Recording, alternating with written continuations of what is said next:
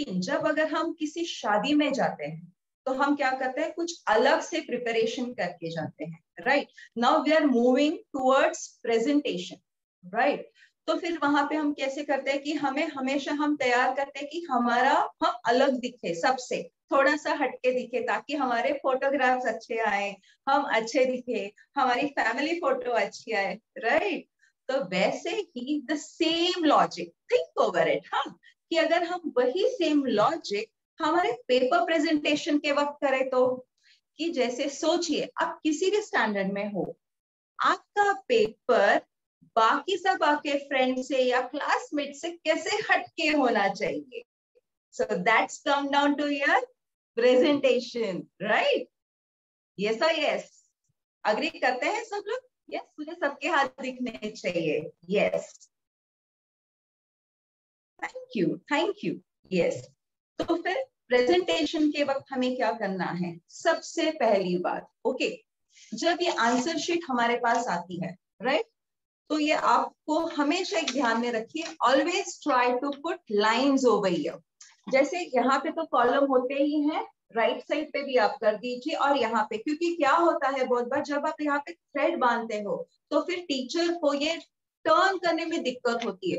See you think on the opposite side अगर वो teacher है सी वी रियली ब्लेस्ड कि हमारे पास काफ़ी सब बहुत सब टीचर्स हमारे अच्छे हैं राइट तो उनके पेन्स हम कैसे कम कर सकते हैं? उनको इजी होना चाहिए ना कि अभी आज उनको इतने सारे पेपर्स चेक करने हैं so we have to think according to them also तो उनको ये छोटी सी बात है एक्चुअली बहुत छोटी सी बात है, लेकिन ये बहुत मायने रखती है कि जब आप यहाँ पर थ्रेड यानी जब भी आप ग्राफ पेपर हो, आपका जोग्राफी का पेपर होता है, तब मैप आता है, या आप जब एक्स्ट्रा शीट्स लेते हो तो आप यहाँ पर होल्ड करके वो थ्रेड ट्राई करते हैं। तो फिर टीचर को दिक्कत होती है कि पेपर टर्न करते हुए, जैसे सेक्शन है जैसे जैसे आगे बढ़ता है तो उनको डिफिकल्टी होती है यहाँ के क्वेश्चन आंसर जो आपने लिखे हैं, या नंबर्स लिखे हैं, वो चेक करने के। लिए। सो ऑलवेज ट्राई कि यहाँ पे जब आप करें तो सेक्शन ए के लिए अलग रहे। फिर उसमें सब क्वेश्चन होता है वन ए वन बी वो प्रॉपर नंबरिंग करे। So that it becomes easy for the teacher to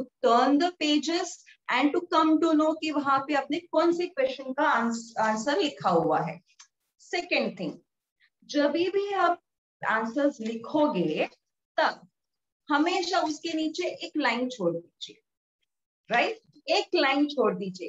कोई दिक्कत नहीं। है ज़्यादा सप्लीमेंट्स भी लेंगे ना तो भी कोई दिक्कत नहीं है। The thing is that it becomes clear define होता है आपने एग्जैक्टली exactly कौन से क्वेश्चन का आंसर लिखा हुआ है। आगे चलकर वो भी देखेंगे how this presentation help us to gain more marks okay for example अगर आंसर क्वेश्चन uh, uh, अगर एक मार्क का है और उसको दो ही सेंटेंस में लिखना है तो वो हमारे मेमोरी में, हम हमें लिखते वक्त भी वो ध्यान में रहता है कि अरे, एक मार्क के लिए मुझे कितना लाइंस लिखने हैं। अगर ये हमें आदत होती है ना तो वी सेव आवर टाइम और टू द पॉइंट लिखते हैं हम। ओके सो ये कब होगा? जब हम प्रैक्टिस करते हैं। Right right? ये तो एग्ज़ाम्स के वक्त की बात है। Right right? लेकिन, आगे देखते हैं। कि जब स्टार्टिंग करते हैं आ, कितने लोगों को ऐसे चैलेंजेस आते हैं कि लैंग्वेज के पेपर में ना लास्ट का दो क्वेश्चन छूट गया। होता है? अरे मेरे ना दो क्वेश्चन छूट गया। या है ना वो मैंने आधा ही लिखा है या तो फिर मैंने कंप्लीट ही नहीं किया। ऐसे कभी होता है? नहीं होता है? वेरी गुड बट कभी कभी उसमें है ना बहुत आ, क्या कहते हैं हमारी घाई हो जाती है। लाइक like, बहुत जल्दी जल्दी बाजी में हम लोग करते हैं। जब हम स्टार्टिंग लिखते हैं ना पेपर की तो बहुत सुंदर अक्षर होते हैं। राइट? क्योंकि टाइम ज़्यादा होता है। बहुत अच्छी तरह से धीरे धीरे हम लोग लिखते हैं। राइट? और जैसे by the end of the paper आता है तब ध्यान में आता है कि हम लोग फास्ट लिख रहे हैं। सिर्फ़ लिख रहे हैं लिख रहे हैं लिख रहे लेकिन बहुत बार ऐसे होता है कि हमने खुद ने क्या लिखा है वो हमें भी बहुत बार समझ में नहीं आता है। राइट? होता है। और बहुत बार आर एस के जैसे दिखता है। डब्ल्यू एम एन ये सब ऐसे। बट नेचुरल बिकॉज़ हमने पढ़ाई की है और हम लिख रहे हैं।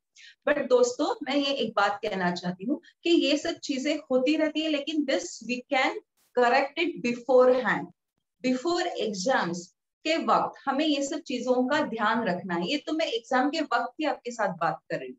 राइट लेकिन यही चीज़ें हम एग्ज़ाम के पहले, जैसे अभी समझो, पंद्रह बीस दिन रह गए हैं मेरे एग्ज़ाम्स के लिए तो मुझे क्या करना चाहिए? राइट अभी तक की सारी बातें अच्छी लगी? कुछ नया सुनने को मिल रहा है? यस यस थैंक यू तो बढ़ते हैं आगे। तो इसका भी ध्यान रखना है। इसीलिए मैं अभी पहले पॉइंट से कनेक्ट करूँगी कि timing allotment of timing to each given question okay तो ये आपको बहुत हेल्प करेगा आपका पेपर राइट फ्रॉम स्टार्टिंग से लेकर एंड तक सेम हैंडराइटिंग मेंटेन करने के लिए आपने जो भी पढ़ाई की है, वो प्रॉपरली आपके पेपर में पूरा उतारने के लिए राइट ठीक है दोस्तों, मैं आपसे एक क्वेश्चन पूछना चाहती हूँ कि क्या आपने कभी आपकी राइटिंग स्पीड चेक की है कि एक मिनट में आप कितने शब्द लिख पाते हो? कभी किसी ने किया है? नहीं? ठीक है तो आज एक छोटा सा मैं आपको एक्सरसाइज देना चाहूँगी। चलेगा? डन यस तो हम आज एक काम करेंगे, आप स्टॉप वॉच लगा लीजिए और देखिए कि एक मिनट में आप कितने वर्ड्स लिख पाते हैं। आपके मन में जो भी आता है वो, चाहे आप ऐसे लिखिए, कोई भी आपके मन में जो है आपको कॉपी यानी टेक्स्ट बुक का कोई सेंटेंस लेके लिखना है तो वो भी आप लिख सकते हैं राइट तो वो आप देखिए, क्योंकि this will help you during your exams and this is related to your presentation also right अगर आप देखेंगे तो नॉर्मली हम एक मिनट में 25 से 30 वर्ड्स लिख पाते हैं। अगर वही हम एग्ज़ाम के पहले, अगर हर एक विषय के, हर एक सब्जेक्ट के अगर पेपर्स लिखते हैं। राइट थैंक यू ओम तो हम देखेंगे कि हमारी स्पीड बढ़ेगी। Because see it is that way अभी यहाँ पर मैं एक एग्ज़ाम्पल लेती हूँ कि इंग्लिश का पेपर हमें लिखना है लैंग्वेज का। वो नॉर्मली काफ़ी बड़ा होता है क्योंकि उसमें जब राइटिंग स्किल्स आते हैं so we have to write more and more जैसे लेटर राइटिंग है रिपोर्ट राइटिंग है राइट प्रेसिव कॉम्प्रिहेंशन है। राइटिंग स्किल्स में आपको इनडायरेक्ट डायरेक्ट इनडायरेक्ट स्पीच भी आता है। तो वो सब कंटेंट और ऐसे राइटिंग सबसे पहली बहुत इंपॉर्टेंट बात। तो वहाँ पर आपको आपकी स्पीड भी देखनी है, आपको कंटेंट भी देखना है एंड टू द पॉइंट आपको लिखना है plus with the presentation with good handwriting right so अभी आपको एक चीज़ करनी थी, जैसे इंग्लिश का पेपर है। लास्ट ईयर का भी पेपर अगर आप फ्रेंड से मिल आपको मिल सकता है तो वो देखिए। अदरवाइज़ आपके इंग्लिश के टेक्स्ट बुक के पीछे भी अगर कोई पेपर होगा तो आ, वो आप प्रैक्टिस करके देखिए कि तीन घंटे में आप कितना अच्छी तरह से लिख पा रहे right because this will help you out कि मुझे कितने वर्ड्स बहुत बार ऐसे हो जाता है कि एक मार्क का क्वेश्चन है वहाँ पे एक्सपेक्टेड है टू टू थ्री लाइंस में हमें आंसर कंप्लीट करना है, लेकिन वहाँ पे हम half three fourth page answer लिखते ही रहते हैं। और फिर बाद में ध्यान में आता है कि अरे लास्ट में तो मुझे पेपर लिखने के लिए जो मेन टेन मार्क्स का क्वेश्चन रहता है, वहाँ पे मैंने सिर्फ़ पाँच मार्क का ही लिखा है। और फिर हम कहते हैं, मेरे मार्क्स क्यों कम आए? होता है कि मेरे से क्या गलती होगी कि मुझे टीचर्स ने मार्क्स नहीं दिए हैं। See it is the thing is proper planning of your paper. Proper planning to do while what are the things I have to do during my exams and presentation. ये काफ़ी ज़रूरी है presentation में सिर्फ़ सिर्फ़ अंडरलाइन भी नहीं करना है वहाँ पे कंटेंट भी बहुत ज़रूरी है because content is the king right content बहुत ज़रूरी है प्रेजेंटेशन भी ज़रूरी है ताकि when you have to score more तब ये सारी चीज़ें बहुत ज़रूरी होती है right? See, Ben have to score more than 90%. And I think you all are super performer. तो आपको तो अच्छे मार्क्स मिलने ही चाहिए आप लोग इतनी कड़ी मेहनत ले रहे हैं आप सारी चीज़ें एब्जॉर्ब कर रहे हैं नए नए टेक्निक सीख रहे हैं माइंड मैप्स कर रहे हैं सब कुछ आप कर रहे हैं तो आपको उस तीन घंटे में प्रॉपर इस सब चीज़ों का एप्लीकेशन कर कर you should score more yes और यस डन यस और जब आप ये तीन घंटे का पेपर लिख रहे हो, घर में जब आप ये प्रैक्टिस कर रहे हो, तब आपको पता चलेगा कि मेरा हाथ दर्द कर रहा है कि नहीं, मेरी उंगलियाँ कितनी बार मुझे ऐसे करना पड़ता है, ऐसे करना पड़ता या हम ऐसे भी करते हैं लिखते वक्त। होता है कि नहीं? फिर ऐसे होते इसमें भी हमारा टाइम चला जाता है। यस परी तो यहाँ पर मैं एक छोटी सी आपको टिप देना चाहूँगी। सुनना चाहोगे? चाहोगे? यस कितने लोगों के हाथ ऊपर हैं? परी है, ओम है। यस यस यस हाँ thank you thank you yes yes तो यहाँ पर आप क्या कर सकते हैं? स्माइली बॉल स्माइली बॉल सबके घर में यस तो उसको लेके ना उसके साथ एक्सरसाइज कर सकते हैं।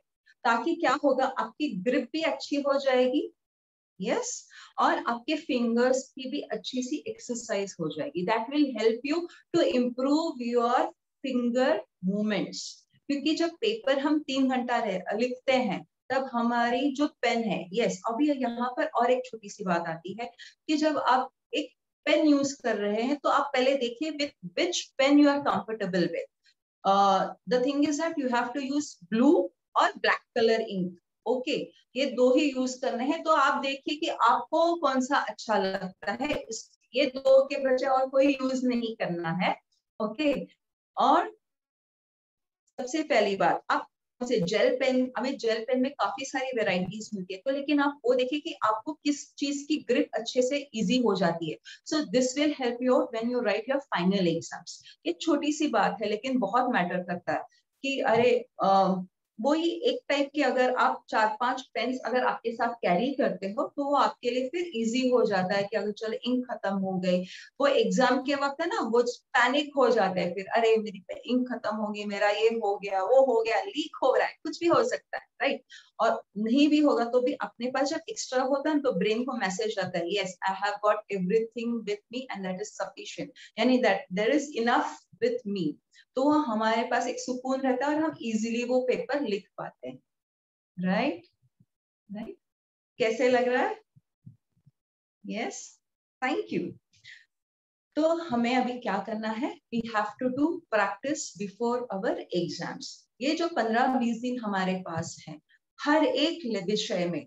चलो जैसे अब आज हम कौन सा विषय लेंगे? चलो इंग्लिश का लेते हैं। चलेगा?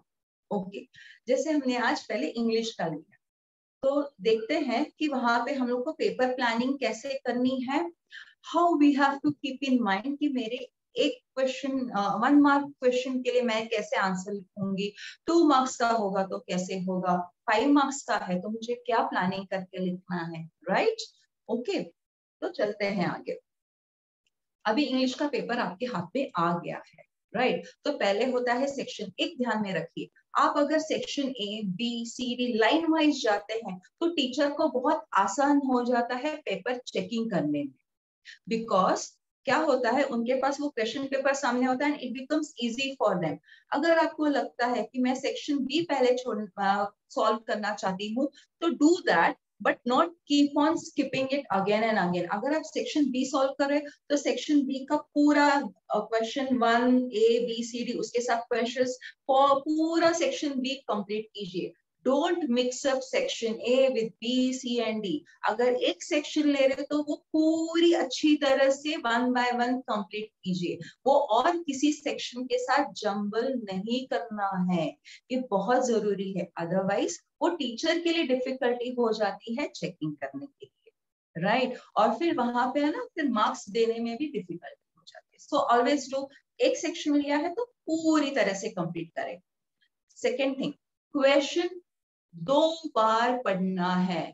बहुत बार ऐसे होता है कि अरे देख लिया, क्योंकि हम लोग जब घर में प्रैक्टिस करते हैं ना तो वो दिमाग में बैठा होता है। कि यही टाइप का क्वेश्चन है। कभी कभी वो ट्विस्टेड क्वेश्चंस भी डाल देते हैं और वहाँ पे हम गलती कर देते हैं। कभी कभी डिफरेंस बिटवीन पूछा होता है कि डिफर इसमें दोनों में दो शब्दों के डिफरेंस की चीज़ पूछते हैं और हम डिस्टिंग्विश बिटवीन लिख देते हैं। बहुत बार ऐसे भी होता है कि एडवांटेजेस पूछे हैं और हमारे बैक ऑफ़ द माइंड में चलता है कि डिसएडवांटेज तो हम गलती से, क्योंकि वो एग्ज़ाम का ये होता है ना कि नहीं, लिखना है कंप्लीट करना है। So read the question twice before you write this is very important क्योंकि जब क्वेश्चन पूरी अच्छी तरह से दिमाग में होता है और पहली बार, उसके लिए कितने मार्क्स है, वो हिसाब से आप लिखिए। जैसे फॉर एग्ज़ाम्पल अगर वहाँ पे आता है कि डिस्टिंग्विश बिटवीन दो, बीच में लिखना है और दो मार्क का है तो आपको ज़रूरी है वहाँ पे आप चार पॉइंट्स लिखिए राइट right? चार पॉइंट्स लिखेंगे तो हाफ़ हाफ़ मार्क आपको मिल जाता है।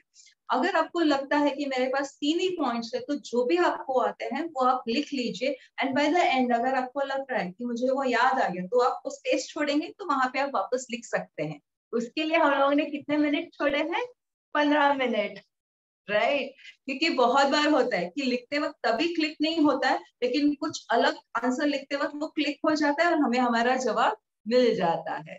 राइट तो जैसे अभी हम देखते हैं इंग्लिश पेपर में तो पहले आता है कॉम्प्रीहेंशन राइट प्रोज का आ जाता है तो उसमें पहले आप वो क्वेश्चन देख लीजिए कि आपको उसके आंसर्स अपने आप वो जब आप कॉम्प्रीहेंशन पढ़ोगे उसके कीवर्ड याद में, याद करके अगर वो आप आंसर में ढूंढोगे तो आपको इमीडिएट आंसर्स मिल जाएँगे and you will save your time okay वहाँ पे आपको डू एस डायरेक्टेड आ जाता है.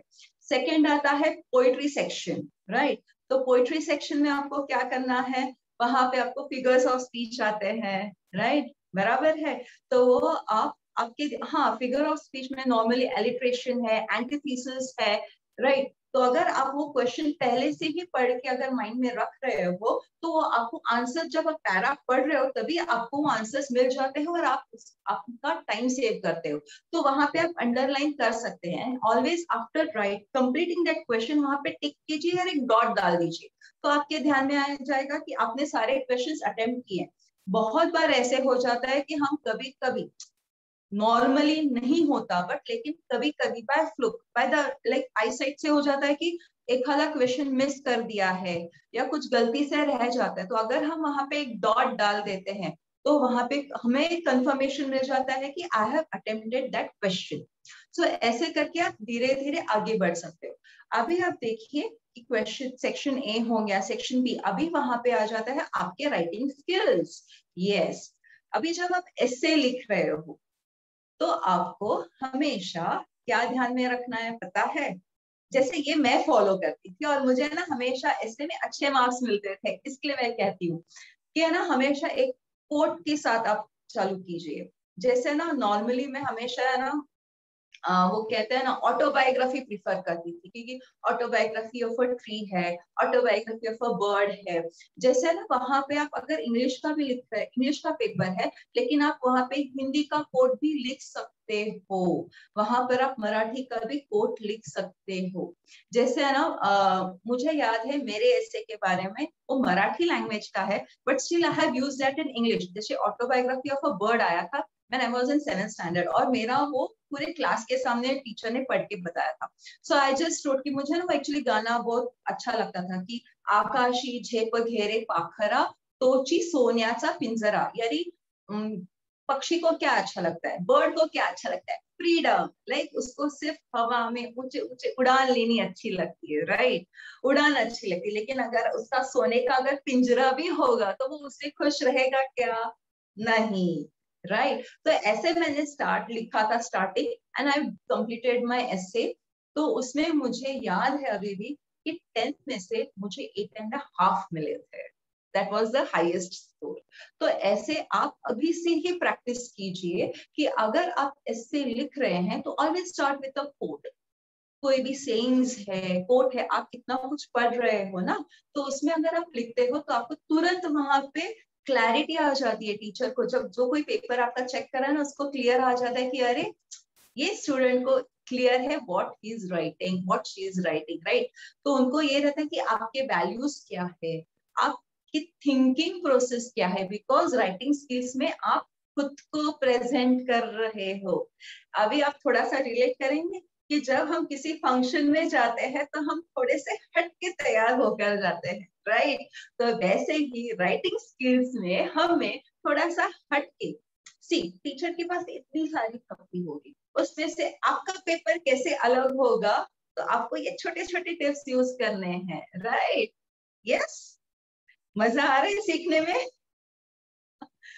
तो आप ये कोट्स अलग से लिख के रखिए। आप देखिए कि लास्ट दो चार सालों में कौन से एसेज आए हुए हैं। तो वो एक दो, उसके हिसाब से आप दस कोट्स तैयार करके रखेंगे तो आपके लिए वो बहुत इजी हो जाएगा। राइट अभी लेटर राइटिंग में तो दो होता है। एक तो इनफॉर्मल होता है, या तो फॉर्मल होता है। आप ऑलरेडी तय कीजिए कि आपको कौन से टाइप का लिखना है। See this will save your time ये ना, सब आपका टाइम सेविंग की मैं बात कर रही हूँ। जैसे हम लोग बोलते हैं ना लाइट सेव करो लाइट सेव करो, पानी बचाओ। वैसे एग्ज़ाम के वक्त वो टाइम बहुत बहुत सेव करना ज़रूरी होता है, ताकि हम अच्छी तरह से अपने आप को वहाँ पर प्रेजेंट कर सकते देखिए बच्चों, आप क्या सोचते हैं? आप क्या है? ये टीचर को कैसे पता चलेगा? Through your presentation of your paper that is the आईना राइट सी मेरे दिमाग में बहुत है, मैंने बहुत किया है, मैंने बहुत पढ़ाई की है। मेरे दिल भी बहुत अच्छी तरह से यस मुझे ये है, मुझे करना है, सब है।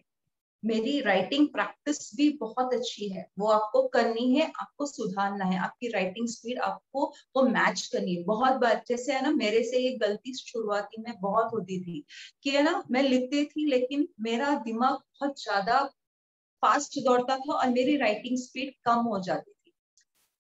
ये कभी है ना, आप देख लीजिए क्योंकि क्या होता है, आप सोचते हैं बहुत और लिखते वक्त अगर वो वर्ड मिस हो जाता है तो मीनिंग पूरा बदल जाता है। स्नेहा यस तो आपको ध्यान देना पड़ेगा आपके राइटिंग स्पीड पे। यस अरे, आप लोग बहुत होशियार अरे यू आर द चैंपियंस यार।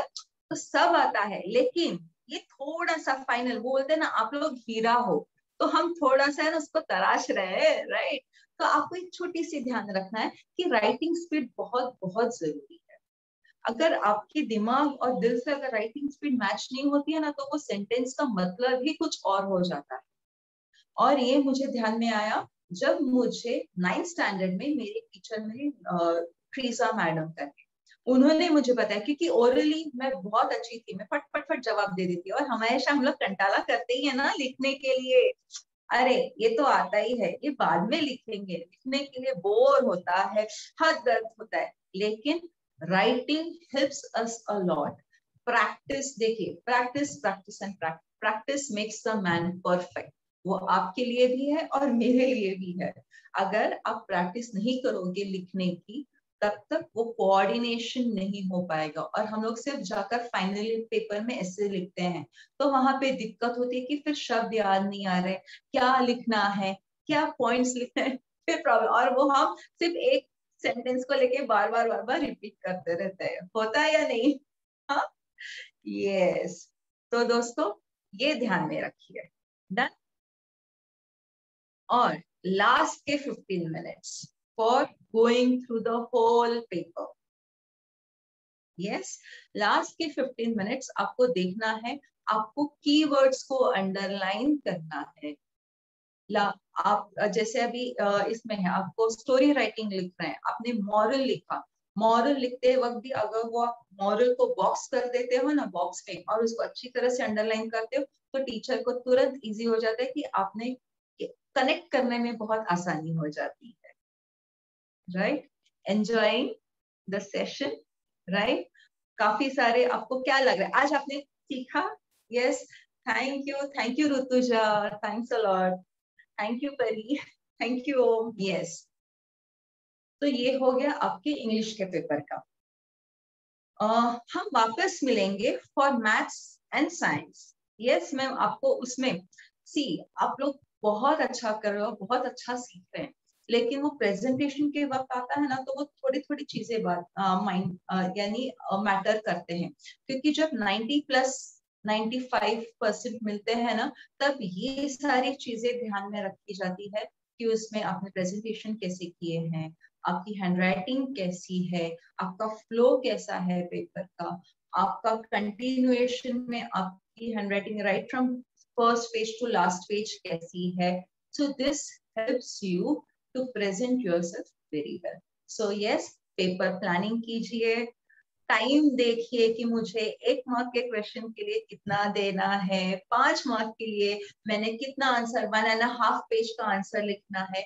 वही अगर दस मार्क का क्वेश्चन है तो how much I should write so simple है। जब आपके एग्ज़ाम के वक्त हमें पता है तो ये ये सिंपल आप लेकर आइए और इस पे जब आप प्रैक्टिस करते हैं तो बहुत आसान हो जाता है। Right so yes thank you और मैं थैंक्स कहना चाहूँगी हर uh, हर एक को यहाँ पर कि आपने uh, अच्छे से ये सेशन अटेंड किया। We had a nice session interaction with you all so thanks a lot and मिलते रहेंगे। Signing off for today so all the best practice कीजिए ढेर सारी। प्रेजेंटेशन uh, पे ध्यान दीजिए कंटेंट अच्छे से कीजिए। and yes the success is on your way so wish you all the best and वापस मिलेंगे for maths science okay thank you all